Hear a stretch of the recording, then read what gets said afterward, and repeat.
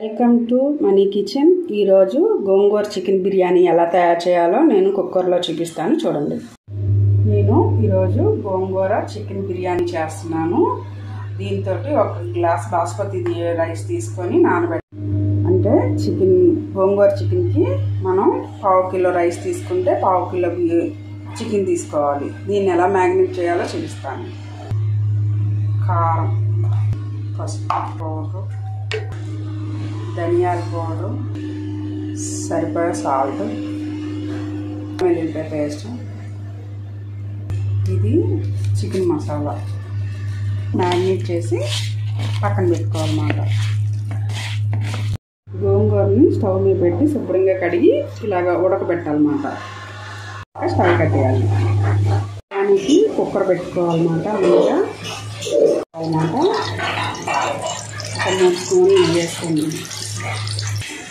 మనం బిర్యానీ ఆకు వేసుకోవాలి సంబంధించిన బిర్యానీ మసాలాలు వేసుకోవాలన్నమాట దాచిన చెక్క లవంగాలు బిర్యానీ సామాను కట్ చేసుకుని ఉల్లిపి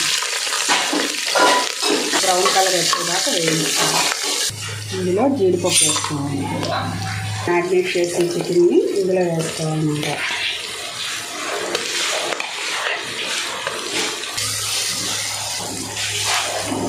పుదీనా కొత్తిమీర ఒక ఐదు నిమిషాలు నీరు వచ్చేదాకా మూత పెట్టుకోవాలి. చూద్దాం అన్నమాట చికెను ఇలా నీళ్ళు వచ్చిందన్నమాట ఇలా నీళ్ళు వచ్చి ఆయిల్ పైకి వచ్చింది చూసారా? ఇప్పుడు ఇలా ఉడకబెట్టాను కదా రెండు కప్పులు. ఇది చికెన్లో వేసుకోవాలన్నమాట.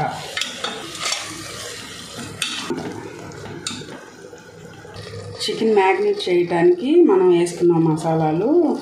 ఇప్పుడు గోంగూర వేసాం కాబట్టి రైస్కి తగ్గట్టు సాల్ట్ వేసుకోవాలి. ఇంకొంచెం సాల్ట్ పడుతుంది. కొంచెం బిర్యానీ మసాలా వేసుకోవాలి. కావాలి బాస్మతి రైస్ నానబెట్టుకుని వేసుకోవాలన్నమాట.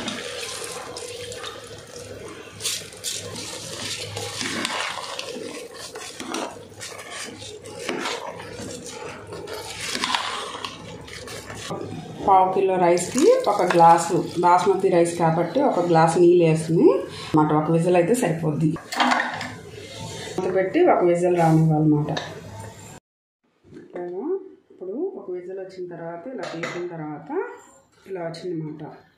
దీన్ని మనం గరిట పట్టుకొని ఇలా తిప్పుకోవాలి.